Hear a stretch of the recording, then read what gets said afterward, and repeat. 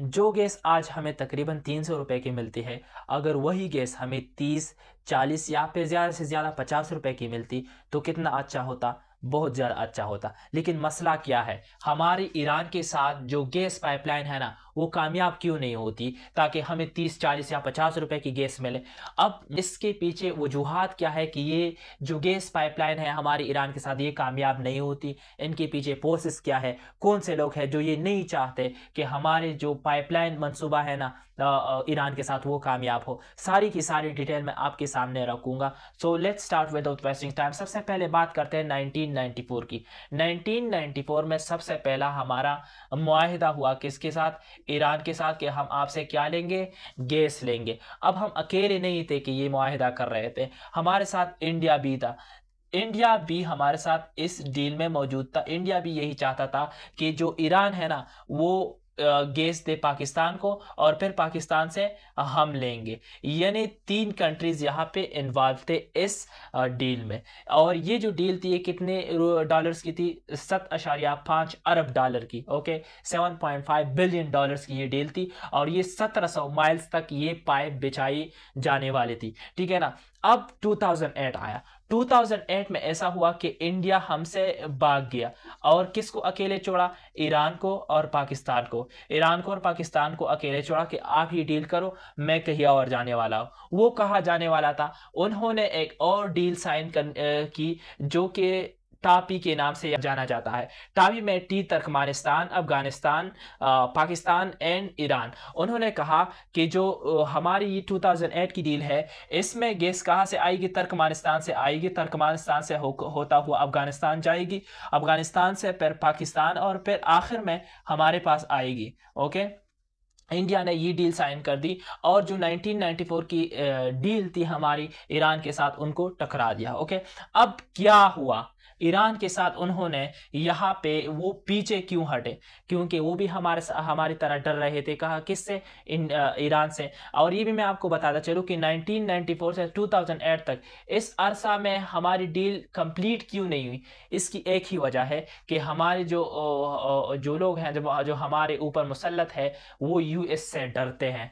और यूएस ये नहीं चाहते थे कि हम ईरान से जो सस्ता गैस है ना वो ले ले। तो यूएस हमेशा हमारे ऊपर पाबंदियों का आ, आ, का कहते हैं कि हम आपके ऊपर पाबंदियाँ लगाएँगे। और इस डर से आ, हमारे जो जो वज़र अजम हैं वो कुछ नहीं कर सकते। और 1994 से 2008 तक कुछ भी नहीं हुआ। यहाँ पे भी इंडिया किससे डरा डरता था? यूएस से।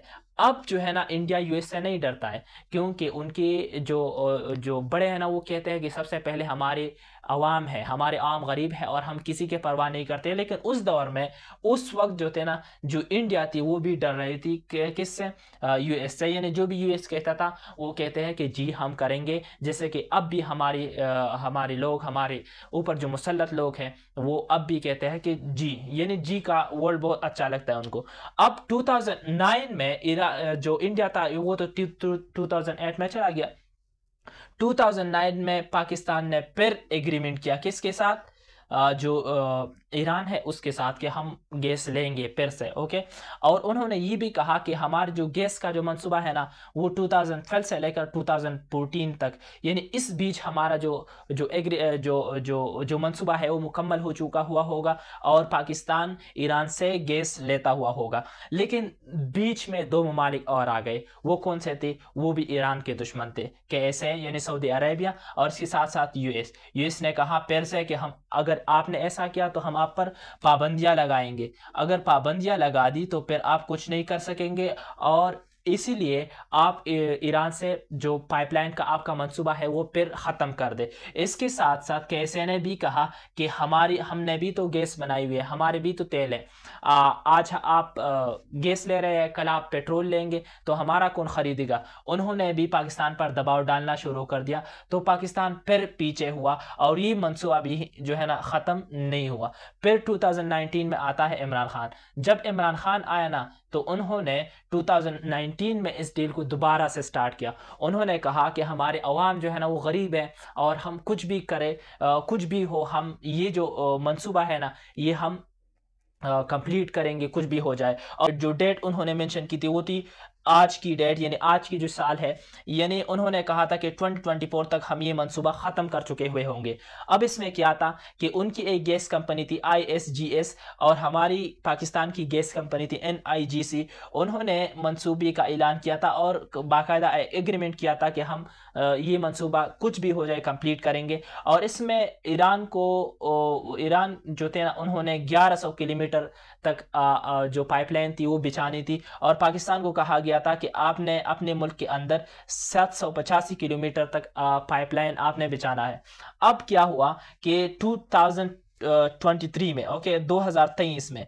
2023 में ईरान ने अपना जो इलेवन हंड्रेड किलोमीटर थे ना, वो कंप्लीट की थी। लेकिन पाकिस्तान ने स्टार्ट भी नहीं किया था, क्योंकि यहाँ पे तो इमरान खान की गवर्नमेंट ख़त्म हो गई थी। जब इमरान खान की गवर्नमेंट ख़त्म हो गई थी और निगराह हुकूमत आई थी तो उन्होंने कुछ भी नहीं किया था। अब मसला क्या था कि ईरान ने कहा कि हम आप जो भी करें हम जाएँगे आईसीजे में यानी इंटरनेशनल कोर्ट ऑफ़ जस्टिस में हम जाएँगे और वहाँ पर आप पर जो है ना हम केस लड़ेंगे। और, और केस में उन्होंने क्या कहा कि हम आप पे जुर्माना लगाएँगे 18 बिलियन डॉलर का यानी 18 अरब डॉलर का हम आपके ऊपर जुर्माना लगाए लगाएँगे। तो यहाँ पे जो पाकिस्तानी गवर्नमेंट थी ना जो निगरान हुकूमत थी वो तो हैरान और परेशान हुआ क्योंकि यहाँ से यूएस का प्रेशर था और नीचे से क्या ईरान जो है ना वो एटीन अरब डॉलर का जुर्माना डाल रहा था पाकिस्तान के ऊपर। और पाकिस्तान ये समझ रहा था कि हम वैसे ही जो है ना मुश्किल का शिकार है और हम कैसे ये जुर्माना है ना, जो है ना ये अदा कर सकते हैं। पर ऊपर ये भी था यूएस, जो कि मुसलसल कह रहा था कि आपने ये मनसूबा नहीं कर रहा, करना था, करना है। ओके? तो फिर यू पाकिस्तान ने ऐसा किया कि उन्होंने इस चीज़ से बचने के लिए 18 अरब डॉलर से बचने के लिए, पाकिस्तान ने अपने मुल्क के अंदर 80 किलोमीटर की जो जो पाइप थी ना, वो बिछाई। अब आप मुझे बताएँ कि ये जो हो रहा है पाकिस्तान में मतलब कोई अपने मुल्क के लिए अपने गरीब आवाम के लिए कोई आ, आ, सस्ता सा पेट्रोल या सस्ता सा गैस नहीं ले सकता ताकि आवाम की आवाम में खुशहाली आए आवाम को थोड़ी सी आसानी मिले थोड़ी सी जो वैसे ही ये जो महँगाई बढ़ रही है ये थोड़ी सी कम हो। लेकिन नहीं हमारे मुल्क में ऐसा नहीं होता है। ठीक है ना? तो बहुत ज़्यादा परेशानी की बात है कि ये सारी चीज़ें हो रही है। अब अगर ये चीज़ कामयाब होना तो जैसा कि स्टार्ट में आप मैं मैंने आपको बताया कि पाकिस्तान आ, कुछ करेगा मतलब थोड़ा सा सुकून मिलेगा जब पेट्रोल आपकी सस्ती हो जाए।